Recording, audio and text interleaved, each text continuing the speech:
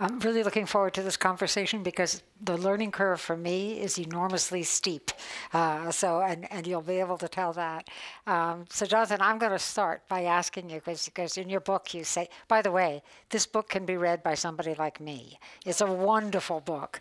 Uh, it's clear. It's filled with wonderful examples. Um, I'm a lot smarter having read it. Um, but you know, you write that the investments in what you refer to as intangible assets are now outpacing the investments by companies in tangible assets. So first, define those intangibles. What are they investing in? The sort of traditional forms of investment that uh, companies do and that you know we count when we compile the GDP numbers are typically tangible things. So buildings vehicles plant and equipment computers uh, but the core of our book, as you say, Jane, is that what companies are doing now is they're investing in things which you can't touch and feel in the way that you can do with buildings and plant and equipment and all that kind of thing. So what, what kind of things are they? So those are things like R&D, mm-hmm. uh, things like, since we're in California, software, big data, things like that. Uh, things like designs, uh, very important in the fashion industry and so forth as well. Uh, and then quite a few other aspects kind of around, you know, improving the business processes within a firm, you know, what it is that makes Walmart somehow feel different to Kmart. You know, they both sell shoes, but somehow or other these feel like different corporations. So the, the business process within the firm is important as well. And the training and the marketing and the branding and so forth as well. Well, Stian, the, the fact that Jonathan pointed to Walmart makes me want to ask this question because when people refer to th- these kinds of intangibles, um, I, I think of companies like Google, like Amazon, like Uber, tech based companies.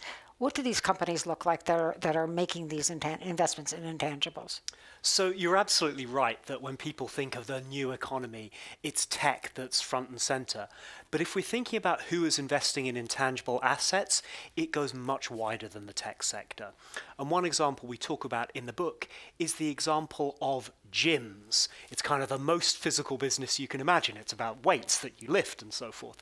Um, but if you go to a modern day gym, you'll find that gym, as well as having lots of physical assets like machines and a building, they'll also have lots of intangible assets. A lot of gyms are branded, they'll have software that runs themselves, and they'll have a fairly advanced marketing um, system designed to get people to join up and ideally come as little as possible.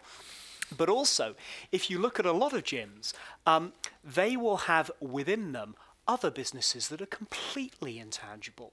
If any of you have done a high intensity interval training class like Body Pump, those classes are run by a little business in New Zealand called Les Mills International that records the music, owns the music rights, designs the training routines, sends them out to trained instructors who train on Les Mills training programs. That business, apart from a recording studio somewhere in New Zealand, has basically no tangible assets at all, but really valuable intangible assets. So it's kind of a ghost in the machine that's entirely intangible, even in this most tangible of industries. And of course, they're grocery stores. I just remember this because of in 1992, which is about the time when you said that these investments did shift, when intangible investments in, in intangible assets started to overtake uh, investments in intangible ones. But I'm sure you remember when George Herbert Walker Bush was running against Bill Clinton and he discovered the barcode code in the grocery store, and it made people think he was out of touch because those of us who shop for our groceries knew about a barcode. But vice presidents and presidents don't shop at Safeway, apparently. But but it is, I mean, it, it, it, it's embedded also, aren't these sort of intangible assets sometimes embedded, embedded in the means of production as well? Uh, well, I mean, the barcode is an example of that in a sense. It's been, you know, since the 1950s, really, you know, the, the barcodes have been rolled out in various oh, supermarkets yeah. and they've revolutionized all the aspects of supermarkets. And I think you know, part of what the book tries to do is it tries to describe, as Stian has just said about gyms, the kind of bundle of intangible assets that often come around a technology invention like the barcode. So, so once the data, for example, comes along, which yep. the barcode, you know, delivers, you know, fantastic information on the data, then you have an, an, intangible asset, namely the data. You have another intangible asset, the software to process the data and so yeah. on. I'm, I'm thinking about sort of old economy. Uh, businesses like the automobi- automobile business and the degree to which um, uh, R&D uh, is an important input there, and various technologies, et cetera, into the way Yeah. we go about. Oh, and, and, and design. yeah. And I believe it's the case that the software in a car now is more valuable, you know, than the the old-fashioned iron and steel and y- you know aluminium and so forth that's in the car as well. Yeah. So, so what does this mean for productivity, Stian? Um, uh, we, we keep hearing that productivity has gone way up in this country through the 90s and, and beyond. Um, what is what is the role of these intangible investments in in the product, uh, productivity of all kinds of companies? So, intangible investment is really important for productivity, um, partly because, like any investment, it makes the company that invests in it more productive. But intangible assets tend to have another role in productivity as well, which is that the benefits of these investments often spill over beyond the company that makes them. So, to give an example, if we think of the design that went into the Apple iPhone, one of the most profitable products in the history of capitalism. Um, if you'll recall, when the first iPhone came out in 2007, it was revolutionary. Smartphones before then were kind of these sort of weird products that were not necessarily very usable. The form factor, the design of the iPhone, aside from the technology, was kind of absolutely memorable. That was a kind of really valuable, intangible investment that Apple had made through Jony Ive, their designer, and so forth. But of course, if you'll remember what then happened, within about 18 months, every smartphone looked basically like an iPhone. So that investment benefited not just the productivity of Apple as a firm and the profits of Apple's stockholders, but also it benefited the industry as a whole. And I guess what that means is if you want to see productivity growth in the economy, then investment in intangibles is very important. Has I think you quoted a book by Peter Thiel in your book, who argued that because of that spillover effect, it's it's extremely important a to make the right investments, but b to get a monopoly position if possible. What was his argument? So the thing that he highlights is this challenge that is created by the spillovers because obviously no company will want to make an investment if they're worried that the benefit is going to accrue to their competitors. So what that means is it creates a big incentive if you're coming up with, if you're investing in an innovation, if you're investing in intangible assets, to invest in as many intangibles as possible that combine with one another to create a bit of a defensive moat. So if we think back to the iPhone, the iPhone wasn't just good design, there was also software investment in the operating system, there was business development investment in developing the App Store and the relationship with suppliers, and of course the thing that Tim Cook pioneered, the kind of the incredible supply chain that was the thing that kind of let Nokia down, their big competitor. Um, and you may not be able to protect an idea or a brand or any of these individual intangibles. But if you can bring together a bundle of them and make the most of these synergies, then that can be more defensible. And that is the kind of these one source of these monopolies that Peter Thiel encourages businesses to develop. Mm-hmm. Jonathan, in the book, when you talk about, when you both talk about the various characteristics of these investments, spillover is one of them, synergies is is another, scalability is another. Talk about actually more about about synergies so we can picture it, but um, but also the importance of, of the ability. I mean, obviously, you can scale an idea. So, what, how does that work? Yeah, so the scaling of an idea is just as you say. Uh, we talk about the taxi cab industry, and if you think of, if if you'll forgive us for a second, us recalling London taxi cabs, as those of you who've been to London will know, classic London taxi cabs. You can fit five people into in, into them, but if you want to get another person, you've got to get another taxi cab. So if you're running a taxi cab company, you've got to order some more tangible assets. On the other hand, the miracle of Uber is that uh, you know we can use it in London to get to the airport, and then we can you know step out of San Francisco airport and then use it here as well. In other words, the same thing can be scaled up. So mm-hmm. that's one of the features of intangible assets, which is kind of interesting. And of course, it's very important for when many businesses work out a business process which means they can run supply chains well and they can you know generally get the business running well. They can often scale that across their many you know across countries for example or many of the different if it's a shop you know if it's a store many of the different stores in the business as well. So that's on the scalability side. Um, but we should say something about synergies as well. Yes. uh, uh, well, we talk in, in the book about the EpiPen uh, as an example of synergies, and um, I, I know there's been a lot of controversy around the EpiPen, but if you sort of think about what the EpiPen is, it is. Uh, you, you, I should explain the EpiPen for those of you aren't familiar.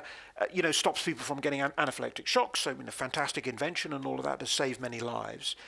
And so the first thing you might think of is you might think, well, yeah, okay, I get that. That's an intangible asset because it's the design of the chemical. It's the, you, you know, it's the molecules and all of that that they've done. And we know about all of that. That's all protected by patents and so forth. So it's not a big surprise that the EpiPen would be a big success. Well, actually, it turns out that the patents expired in the 1920s. Mm. So those patents have all, you know, they've all gone now. But what the EpiPen is, sorry, going back to the issue of synergies, is it's a bundle of different intangible assets. So it's not only the R&D, but it's also the design of the EpiPen itself. It's the marketing and the branding, which has made it so popular, and the training that people get in operating it. So we think that the, the idea of synergies is when you bundle these intangible assets together, you get a particularly valuable product. Mm -hmm. Another, I'm trying to remember because each of the characteristics began with an S. So, right. so Stian, there was sunk costs. Sunk costs um, it, why is it today intangible as assets are viewed as uh, investments are viewed as sunk co costs, and should that should that worry anyone? Well, so if we compare here tangibles and intangibles, um, I mentioned earlier Nokia, the mobile phone company that uh, that was kind of humbled by by Apple and other competitors. Mm. Um, when Nokia got into trouble, um, they had a bunch of assets which they, they sold off. One of these assets, one of these very important assets, was a tangible asset. Their huge building in Helsinki in Finland. Uh, that's a tangible asset. They sold it for a vast amount of money, and it's now full of all sorts of Finnish startups. Um, Nokia's stockholders got quite a lot of that money back. Um, they also had some valuable intangible assets. They had the operating system for, um, for, for, for, for, the Nokia mobile phone, Symbian. Um, and that was worth far less. It eventually became Windows Mobile, but the, the, the, the proceeds and what Nokia got back when they wanted to get out of that business was far, far less. So this idea of sunkenness is that on the whole, intangible assets, if the business should fail, or if you kind of want to divest some of these intangible assets, they're often worth much less to someone else than a tangible asset is. And that causes concern for a number of reasons. And the primary one is that a huge part of our financial system, our business finance system, is geared around bank lending or bondholder lending. And if you lend money, if you if you if you provide debt finance, you want to get something back in case the in case your debtor defaults. And if all that person has are intangible assets, which are worth much less than tangible assets, then you have a problem as a banker, you're less willing to lend. So we face this question of is our financial system well geared towards supporting a real economy that's got a lot of intangible assets in it? And the answer sounds like no. I think the answer is that, that to some extent, no. Um, I think you would expect if you wanted a financial system really well geared towards intangible assets, you'd want to see a lot more equity than debt, so a lot more stock holding one way or another.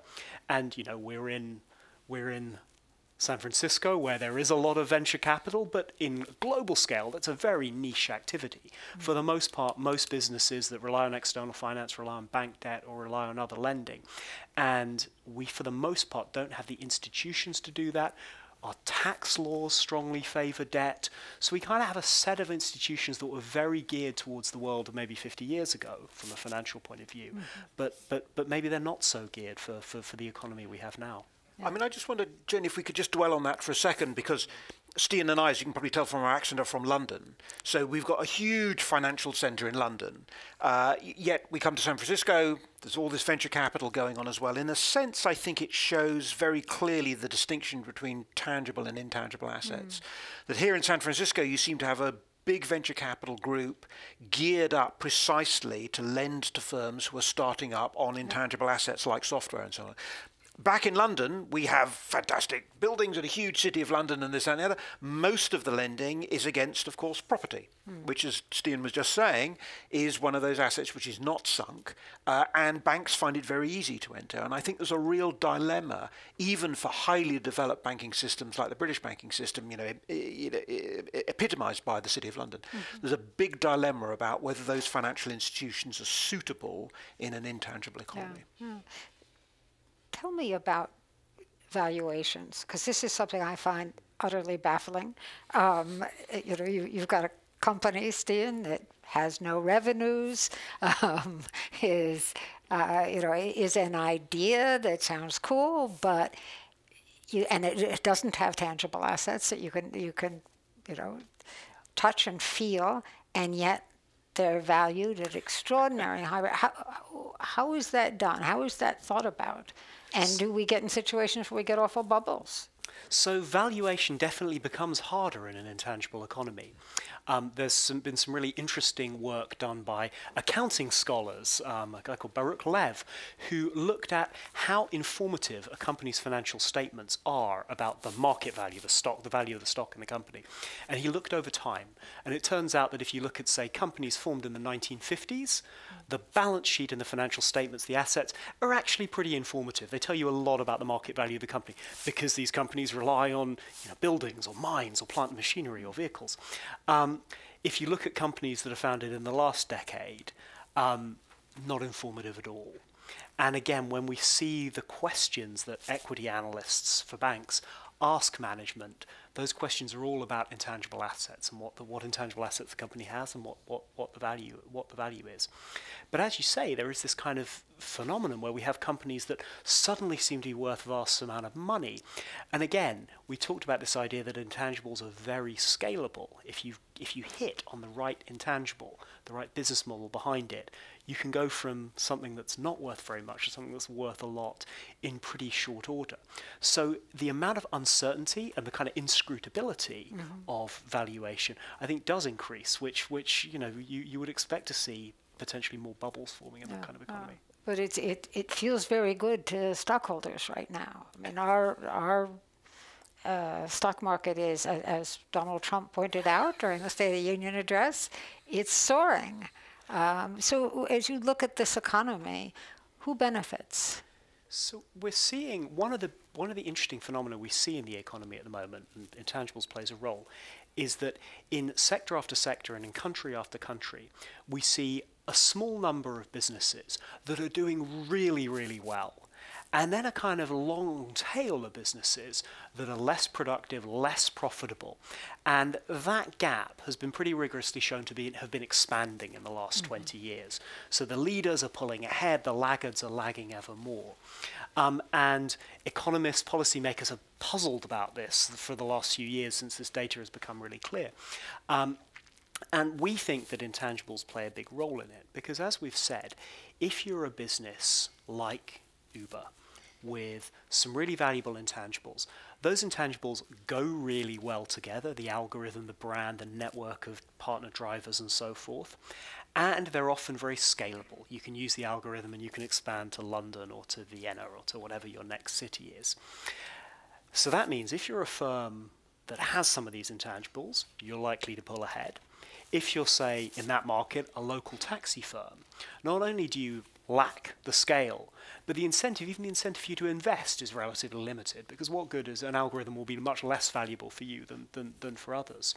So I think that comes back to this question of stock market valuations. You know, publicly traded companies are typically the biggest companies, and you can imagine a stock a, a stock market where you have a few quoted companies doing incredibly well, driving up the headline indices, and a bunch of other companies that aren't even publicly traded, that are much smaller companies, that are stuck in this kind of low productivity, low profitability morass. So the headline stock indicators might be telling you less about the average company than perhaps they used to. Yeah, yeah, because it feels very much like a winner take all economy Absolutely. in many ways. You mentioned investment. Um, it's something else I find baffling. It's a time with extraordinary profits, really wonderful profits.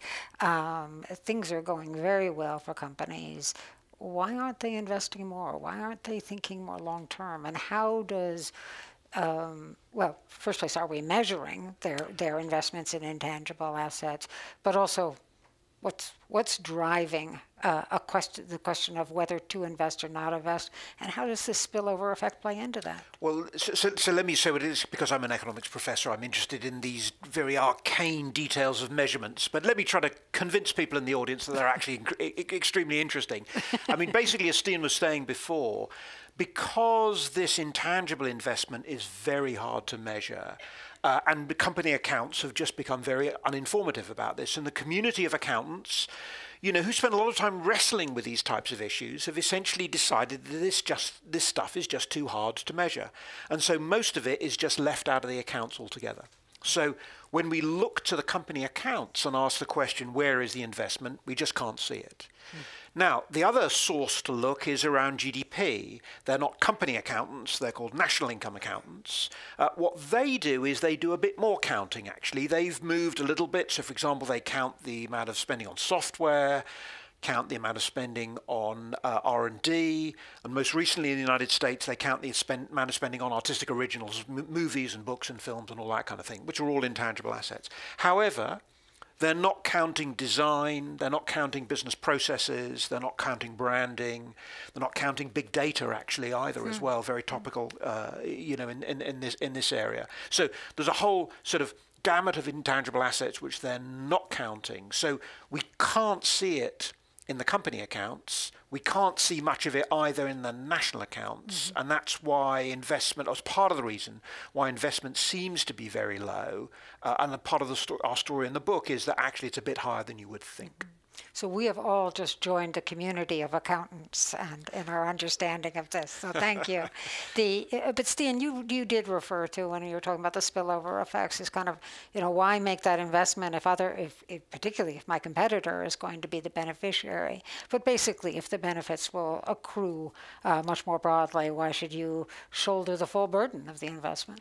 Yeah, I mean, that's absolutely right. And um, for us, this does help provide an answer to one of the big puzzles that economists and policymakers are wrestling with this so-called question of secular stagnation. Mm. Um, for the non-economists, the kind of you could describe secular stagnation as why a company, why is productivity low? Why is business investment low at a time when interest rates are low? So money is cheap. You know, companies should be willing to invest when money is cheap. Um, and the paradox is that all of that is happening together at a time when the recorded corporate profits are pretty high. So it's kind of a head scratcher for economists. Those things shouldn't be happening at once. And I think our argument for part of the reason for that is the role that intangibles play. And as you said, um, if you have a market where the intangible investments are a really good prospect for a few leading firms, they will make the investments, they'll get a high ROI, and that the overall level of corporate profits will look pretty healthy.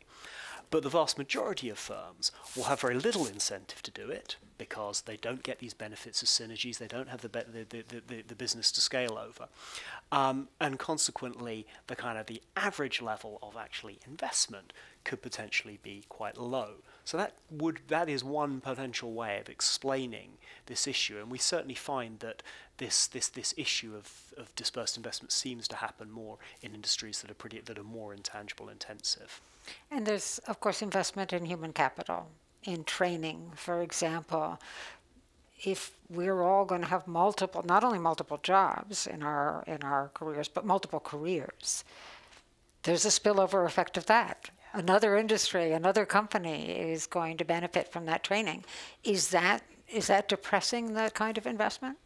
Um, I, I mean, I think it, I think it is, and unlike things like R&D and artistic originals, it's pretty difficult to copyright that sort of stuff. It's you know it's pretty difficult to put a you, know give the firm uh, who's making the investment some property rights over all of that. So um, that's quite hard uh, the training issue, and th- that's why I think many economists, policymakers think that training is typically going to be underprovided, and there's an important area, you know, where policymakers might want to step in. That's that's where the public sector should step in. Mm.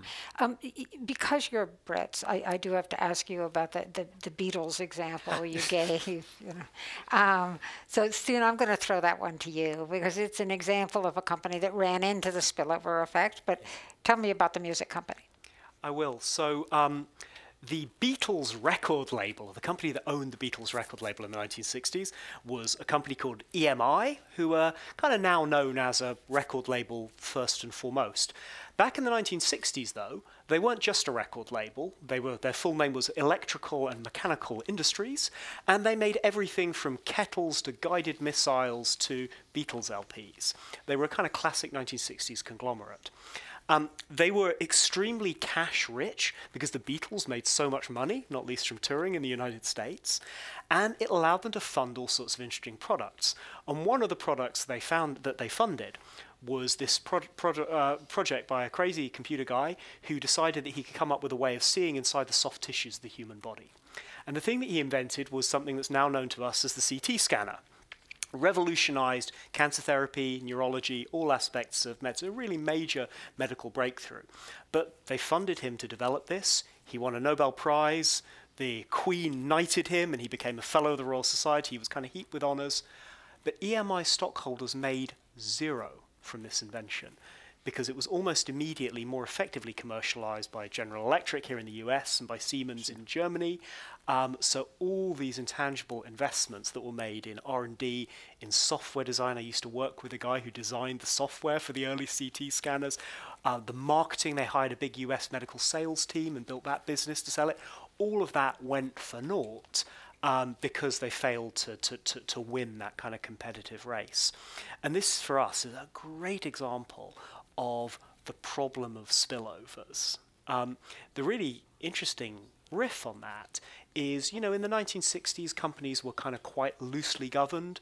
The kind of the the the the stockholder control over management was perhaps quite light. So if you did have a kind of great scientist who thought he wanted to save the world by inventing this great medical device. It was probably easier to do that than in a shareholder, shareholder value managed company of 2018.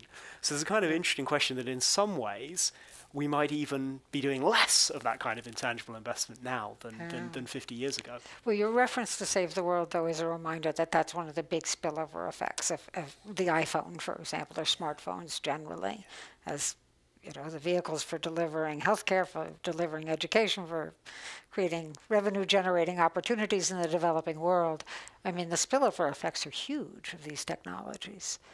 Um, let, let, me take you to some social issues, because obviously what's been you know, very much on, on everyone's minds is the is the growing gap in uh, in, in, in income and in wealth, um, and the role of this economy in driving that. Um, so say a little, as a professor, Jonathan, say a little about what, what are the factors at play that are increasing inequality and are really exponentially? We, we, already, we already mentioned one of the dimensions of inequality earlier on, as Stian was saying, that the very successful firms are sort of streaking ahead and the laggards are being, you know, left behind. So, so one, one yeah. so, so, so one dimension of inequality uh, is the inequality between the successful companies and the not quite so successful companies. Now, of course, that then spills over to a second dimension of inequality because the workers who are lucky enough to get employment at those very successful uh, economies are, are, are, you know are going to do particularly well. particularly early on. Um, particularly early on, exactly. Uh, and and then the sort of again the, the sort of nuance behind that is is to ask the question, you know what are those types of workers? What, what, what, attributes do those workers have who are going to do particularly well? One of the things we sort of talk about in the book is you might think that you know, the careers advice from this book would be pretty straightforward, right? If there's lots of investment in R&D, you've got to be the best scientist. If there's lots of investment in software, you've got to be the best programmer. There's lots of investment in design, you know, you've got to be the best designer. So you might think that that would be the kind of careers advice but for, for people to, yep. you know, if they're going to do well or do badly. Actually, one of the things we think, and it comes from the spillovers point that Stian was just talking about, is that, of course, combining these things together is extraordinarily important. And a lot of success comes from the synergies we were talking about from the EpiPen. And so we think that one of the occupations which, which would do well is those types of people who are able to combine these things, who are able to marshal together, you know, all the disparate groups, uh, you know, in a modern firm who are firing off lots of great ideas, but it needs to be coordinated in a kind of a way. Um, so that's, an, that, that's a group of people who, who, we think will do well, and hence leaders and managers, especially charismatic leaders, um, uh, uh, probably have got those kind of attributes. So I read somewhere, I was mentioning this to you before, that mid-level managers will, will always be needed, Stian. I mean, there's no notion that there's just so much that automation can do. Uh, it can't replace the mid-level managers. Does that strike you as right? I think it was McKinsey who said it. You're a former McKinsey guy, so you're you're on the line so I for have this to agree. one. I have to agree with them. I'll be deprogrammed otherwise. Um, no, the um, I think I think a lot there there will continue to be a lot of mid-level jobs and a lot of what we think of as kind of office jobs or white collar jobs, and that does run contrary to our typical visions of the future, which think that a lot of jobs are going to be involved with, you know, directly you know, programming robots or, or, or kind of other explicit tech jobs. But of course, one of the things about these intangibles is they're often pretty slippery concepts. So if we think about, say, the creative industries, there's a lot of business to be done in terms of who owns various copyrights, how does Spotify interact with the music industry to decide how contracts can be managed. And these things kind of look like kind of business people jobs. So I think weirdly, we in an economy that we think is becoming more and more high tech, a lot of these jobs where people sit at desks and do things that are pretty hard to explain to strangers will kind of will will those kind of jobs will probably increase in number rather than decrease. Yeah. So this this question card actually it, it, uh, you, you were beaten to the punch, audience, because this, this question card asks about the about the future of work. Talk a little bit about the phenomenon of the sharing economy. Um, it, there, there are clear positives, but there are also some some questions about the relationship between um, the network of drivers, let's say at Uber, uh, and and the, the management and whether the benefits are fairly shared. I don't. I, it's, it's hard to think about a concept of fairness in in this, yeah, but but no, say a little bit about the sharing economy. So I think this is a this is a really good question, and this is kind of a, the if we think about Uber's network of drivers, this is a great example of how these intangible assets are very contested. They're not just contested who owns them, but it's even contested what people's rights should be. So if we think of supply chains and relationships with supply chain partners as an intangible asset. And clearly, a lot of Uber's value is instantiated in that relationship with, with, with its driver partners. The legal questions that Uber has faced in jurisdiction after jurisdiction are a great example of how we don't quite know what people's rights with regard to these intangibles should be. Should Uber be allowed to treat drivers as independent contractors. And one of the stories that we tell about why these rules are less clear than the rules about ownership of tangible assets is simply that human beings have just had a lot longer to think about what it means to own a tangible asset. So if you go to a museum in Istanbul in Turkey, you can see there the oldest human law code which is from 2000 something BC. So, you know, this is a 4,000 year old object. And in that law code, they describe in very recognizable detail the ownership of lots of physical assets, fields and animals and houses and things like this. So human beings have owned physical things for as long as we've had written law at all. But the kind of earliest laws about intangible assets, like copyrights and patents, are from more or less kind of 1500 to 1700, depending on how you call it. So we've just had three and a half thousand years longer to get our heads around what it means to own a horse compared to to own a kind of relationship with a supplier and I think it takes societies a long time to work these things out. Oh. Um, a, a, another questioner asked about uh, about portable benefits, and I realize this is a little off topic from your book, but um, in, in, fact, that's part of the thinking with the sharing economy. Mm. If you're going to always be a contractor, what do you do about health insurance, pensions, etc.? Do you have a point of view on portable benefits, and I, are they taking hold as a notion? No, I, I, think it's one of the striking things coming from the UK, where you know we have a public health service and all yeah. of that. Now we can debate public versus private, but but but essentially. One's access to health in the UK does not depend upon the identity of your employer. Yeah. Right. It doesn't matter who for whom you work, yeah. you know, or, or, whether you have one, as you say.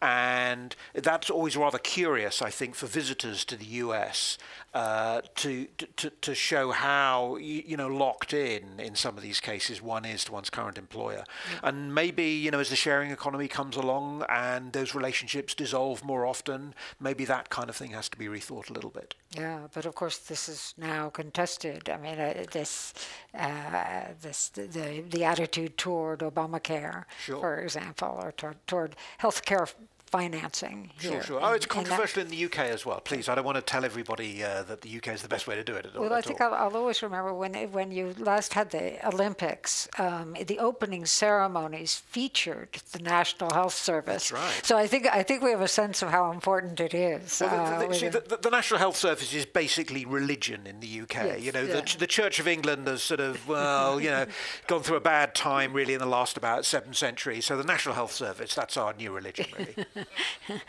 So we have a couple questioners, uh, uh, question cards regarding uh, new technologies. Hmm. One asks whether emerging technologies like uh, like uh, artificial intelligence and blockchain are going to impact how intangibles are valued and how they might uh, grow in the future. So, um, I Those think there's a really interesting angle um, around how new digital digital technologies can affect this question of spillovers. So, if we think back to the problem of spillovers, it's that problem of EMI invents the CT scanner, but they get no benefit from it.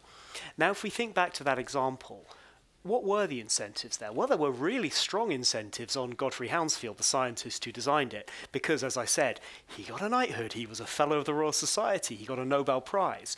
There were strong social and social rewards for him for generating all these positive spillovers. Now, you know, it's we can't recreate the highly stratified societies of the past, and um, you know, there's only so much you can do with kind of public honours. But it's kind of make, I, it makes I, I get very interested in whether there are some ways that we can use digital technology to do that. I've certainly had it suggested to me there might be a blockchain application there, but equally I kind of get very curious when I look at some of these social credit mechanisms that are now being rolled out in China, which obviously have all sorts of throw up all sorts of moral and political science questions, but they are a way of recognizing kind of pro-social behavior. And it may be that if we have an economy where we want people to be very pro-social where that's becoming more important because there are all these spillovers. I think you're going to have to describe social cre- credit programs. So, uh, oh, so sure so my understanding of how this works, and this is at the level of having read newspaper articles about it, is that civic good behavior in China is rewarded with points, and those points get you civic entitlements, which is, um, you know, there's uh, there is something slightly Big Brotherish about that. Um, but on the other hand, you could sort of see if you want a society where you suddenly think it's good to reward altruistic behavior, I mean, there are applications of this kind of thing being rolled out in places like Barcelona as well. So it's not, you don't need the Communist Party of China to run these things. There other, other political systems are available. C- Can I just say a word on artificial intelligence, actually? Because Yes. I, I think there is, if, if you'll forgive us from being so bold, an intangibles kind of uh, angle to artificial intelligence, which is one way it seems to me about thinking about artificial intelligence is that it's an extraordinary fusion of computer hardware running incredibly quickly, so that's a very tangible thing. But the intangible bits are the vast amounts of data which are now capable of being mined, number one. And number two, the smart software programs that can then run through all of this data and recognize cats and, you know, all, all the sort of, all the, all, the, all the sort of things there. So I think one of the ways of thinking about artificial intelligence is it is indeed a bundle of intangible assets interacting, as I say, with a tangible asset like a fast computer. You talked about, Stian, the, the fact that we've had a long time to get used to the notion of owning a horse and what that horse's value, what that horse's value is. Talk a little bit about how policy, whether policy has caught up with, with many of the issues that, that intangible investments raise, but also how how you would recommend or how we could make it catch up if it if it hasn't in key ways. That's I'm a really good go question. back to you, Jonathan, on this as well. Um, I think so. One obvious opportunity here for policymakers, if we're not seeing as much investment in intangibles as kind of would be ideal, if companies are not investing because they want to avoid the trap that EMI got into with the CT scanner, then there is a case for over time spending more public money on intangibles. And that sounds a very kind of abstract thing to say. But obviously, we do this in some ways a lot already because the public sector in almost every country funds a lot of R&D mm-hmm. through scientific research. But there are kind of other things that public sectors around the world fund by way of intangibles already. So, for example, government, government procurement is a famous way of encouraging innovation investment. And, you know, the internet was kind of founded through procurement by DARPA and semiconductors. The US government had a huge role in, uh, in the development of that. But so potentially public procurement is one, is one option.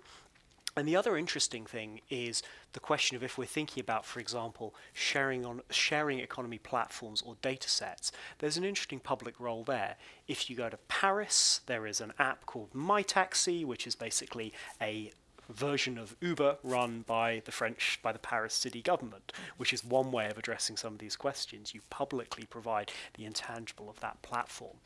Another option is public data sets. So the Census Bureau, uh, a lot of the mapping systems from around the world were kind of a 19th century publicly provided intangible. There's a kind of question in the future, are there other data sets that we might think it's a public good to provide and, and do that? So there's a big role for public investment here. Uh, as, as, you remember, the Obama administration actually put a pretty heavy emphasis on, on uh, open data uh, including the data developed by, generated by governments, but also the, the data gathered uh, by, by the government on, on things like uh, employment in this country.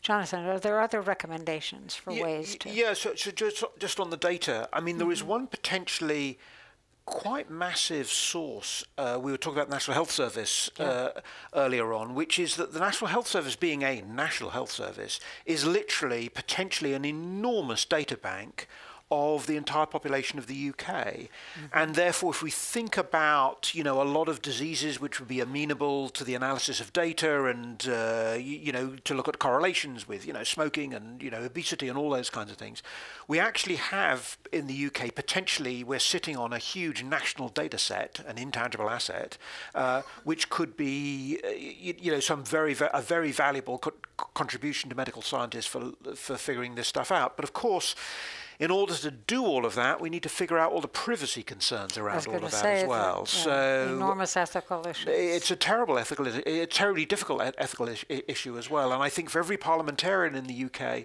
who's pointed out the potential of this vast amount of data, other parliamentarians will point out the privacy issues there as well. And I think it goes back to you know what Stian was saying earlier on, which is that we haven't managed to codify as a, a society quite quite yet you know, who owns these rather intangible notions of owning information and owning data? That's and, that's much more up in the air. And of course, well, don't we own it? For example, if if, if Google is, is is gathering data on us, uh, does Google own that data or do we own that data? Have we resolved that question? It's such an important question, and I think there is a kind of there is something that really scares me in this question. So we feel it sounds like we've acknowledged that there's this need to build new institutions to work out how we trade off these intangibles, whether it's data or whether it's research and so forth. So we need new institutions in the same way that we develop new institutions in the Industrial Revolution. But we kind of have a problem here because as we were saying, this intangible economy also creates inequality and it creates divides between the kind of the intangible haves, the kind of metropolitan elites, and the left behind classes. So, how do you build institutions in a world where there's more political strife, where populism is kind of undermining the basis for a lot of these norms? And um, if anyone has the answer to that, I would really like to hear it. You used the phrase in the book, I think it was esteem inequality. Mm describe what that means. Jonathan, I'm going to give that one to you because you uh, nodded more vigorously. I think it's one of the other dimensions of inequality we mentioned before the dimension between the firms and then dimension between various workers. Uh, and, it, and it is this it's sort of trying to get at the notion that many voters in the UK, but also in the US, obviously as well, feel somehow left behind. They feel somehow excluded from the kind of current of the economy, maybe the discussion of the political process. And that's exemplified in the UK by Brexit Brexit, exemplified in the US by who people vote for for president, for example. Now, uh, why? So you might just say, well, isn't that a sort of a deep cultural thing, and aren't there, you know, it's not really amenable to kind of economic explanation. So one of our feelings is that if part of uh, be, you know, succeeding in the intangible economy is interacting with others, having the kind of skills and talents that make you open to experience, you know, cooperative with other people, exchanging ideas and all that kind of thing. If those are the people who are going to succeed in the intangible economy, that leaves behind those people who don't have the educational background or don't have the various attributes to do that kind of thing. Often as well, since we're in San Francisco, many of the types of people who want to succeed in the intangible economy will move to places like San Francisco, or dare I say it, London as well, uh, because there they will pick up synergies from other people who are also doing designs also doing computing and all that kind of thing. So that puts a sort of an urban rural divide in place as well, uh, uh, so that the, so that living in the cities, living in the towns, increasingly selects on the basis of these various attributes, and that we think adds to the inequality of esteem. So that that brings me to a seemingly random question card that turns out not to be random, oh. and that relates to housing prices. Oh, a good, a big question. So, Stian. so We've been talking about these intangible assets you can't see and touch. And you'd think that a house is the absolute opposite of that, because you can see and touch a house, they're big things. Um, but one of the big paradoxes of the rise of the intangible economy is that one type of tangible asset, housing and property, becomes disproportionately important. And the reason for that, we talked about these synergies and spillovers from intangibles, the idea that it's really good to be in a position to bring ideas together, to take Spotify and music rights or whatever and bring the, and, and, and merge them. And although people for about 30 years have been forecasting this thing called the death of distance, where it wouldn't matter where you were, you could just telecommute, it kind of hasn't really happened yet for the most part. And actually, a lot of interaction still happens face to face, which is why there are clusters like San Francisco and Silicon Valley and places in London and so forth.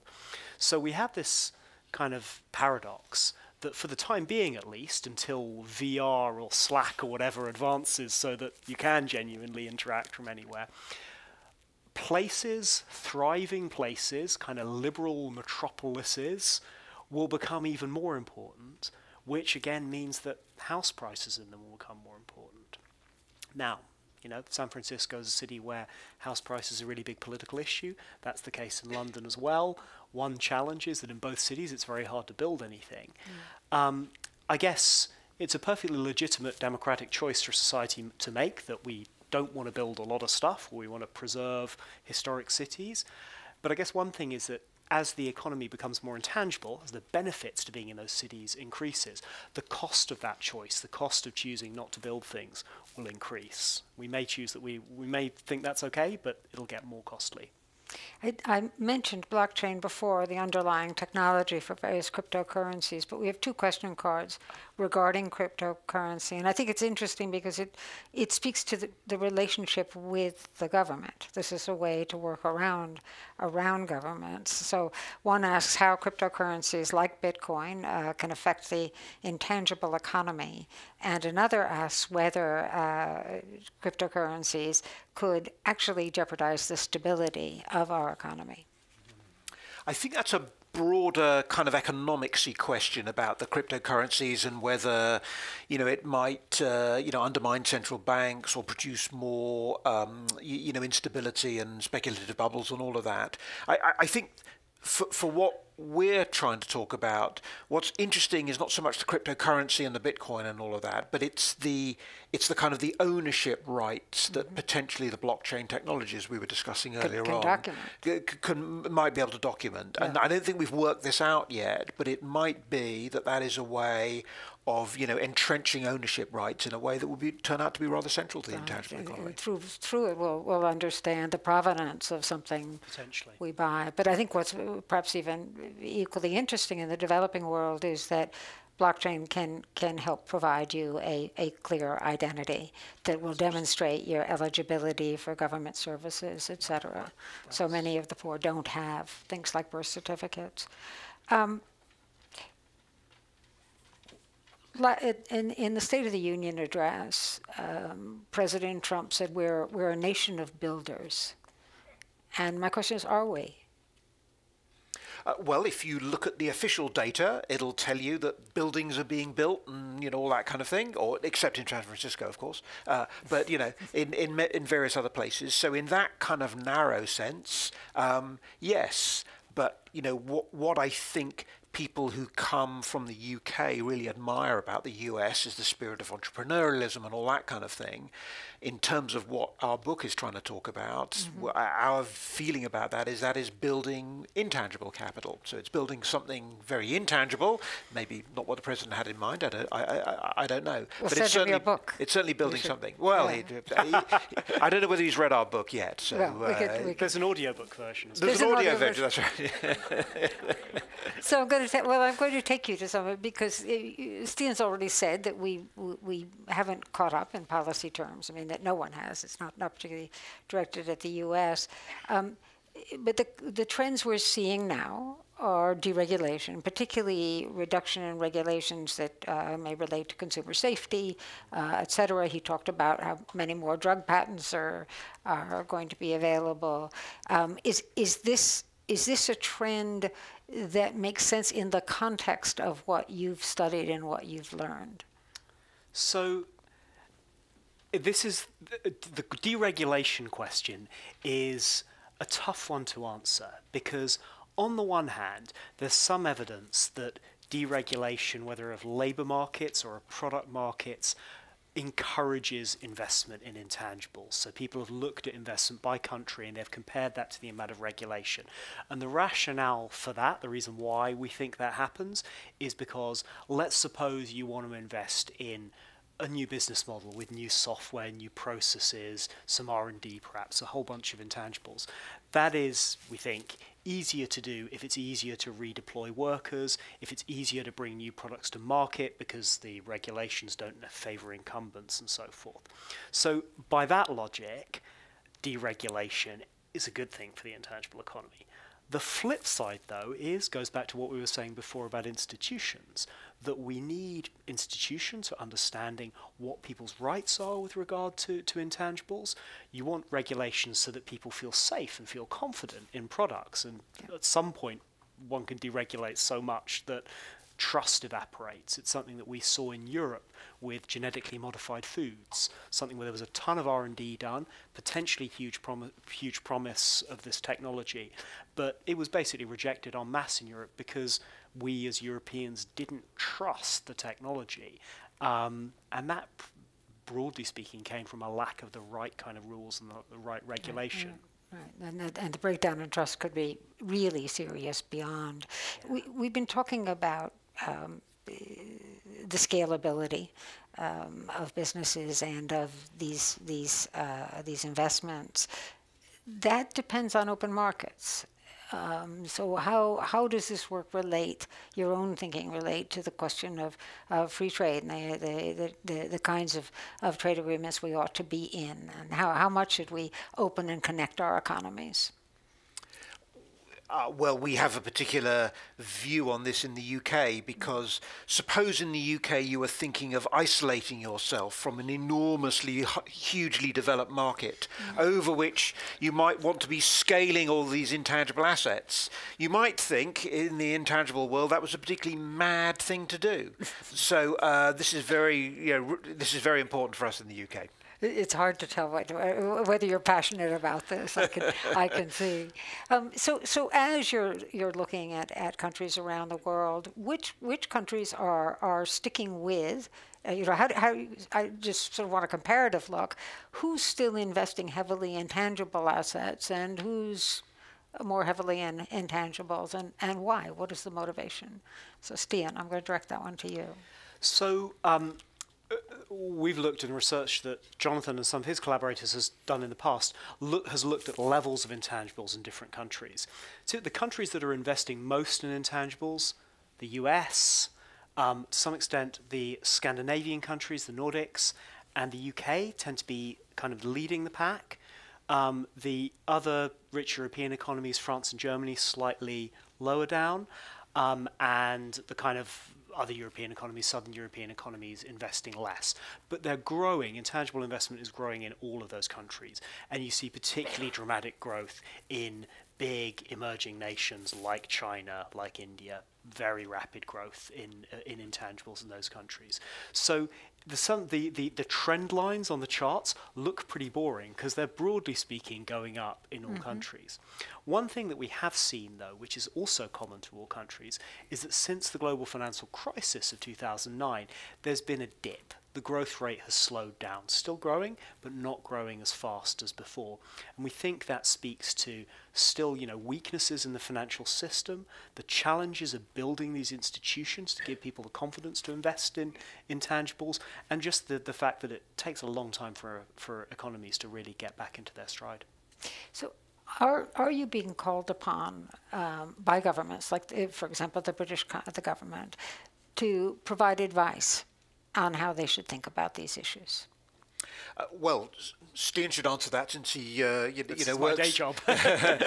works directly for the minister. But can, can, I just give you a sort of somewhat academic answer just for a second? I mean, I think you know, this is an area where I'm going to be, I'm going to proselytize economics a little bit here. Um, professors of economics are often criticized for knowing absolutely nothing at all about the economy. Uh, but uh, once you get into this kind of area, then one gratifyingly finds oneself in quite a lot of demand because I think it's an area which uh, chimes a lot with a lot of policymakers uh, and chimed in particular with many politicians who, when they go around talking their, to their constituencies, uh, constituents and visiting businesses, and all of that, just see the intangible economy kind of blooming in front of their eyes. Mm-hmm. And this is your job, Stian. so, so, so, certainly from a UK point of view, um, the UK government has made some big commitments in the last couple of years to increase public investment in intangibles, particularly in research and development.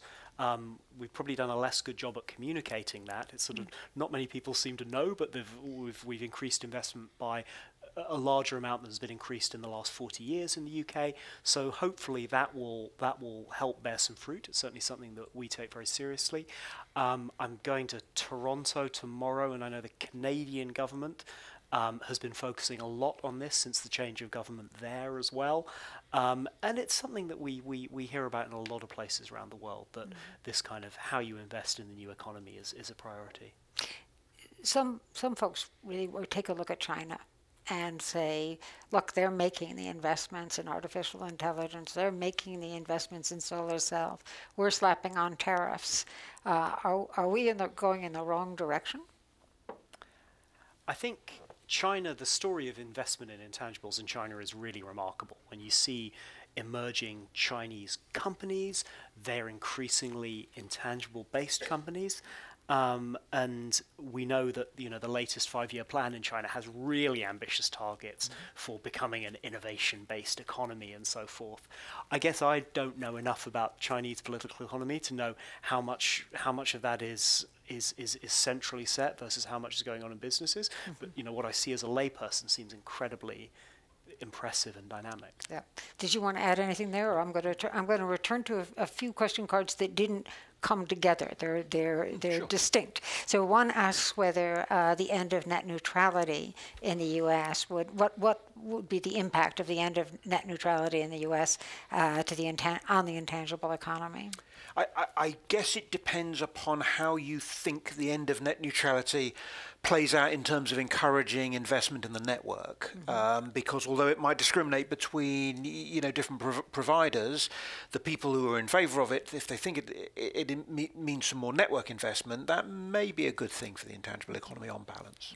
I guess just to pick pick up on the net neutrality question, yep. um, we've said that in an intangible economy, you'll get some really big and powerful companies. Um, traditionally, competition policy, and you know, I think of net neutrality questions as a bit of a subset of that. Traditionally, competition policy has said big companies are really bad. We mustn't have big companies that are dominant in markets. But it may be in an intangible era, in an intangible era, more big companies will, will be natural. But the really important thing, if we're in that kind of world, is to make sure that there's still rivalry, that there's still opportunities for small companies who have the right idea to grow mm-hmm. rapidly and challenge the big people. And I think that would be the question I would ask if net neutrality does. Does that help or compromise yep. that? And as you think about these great big behemoth companies that, that we, we have here, one of the questioners asks whether there are EU based companies in the pipeline that would really challenge a Google, a Facebook, an Apple, an Amazon?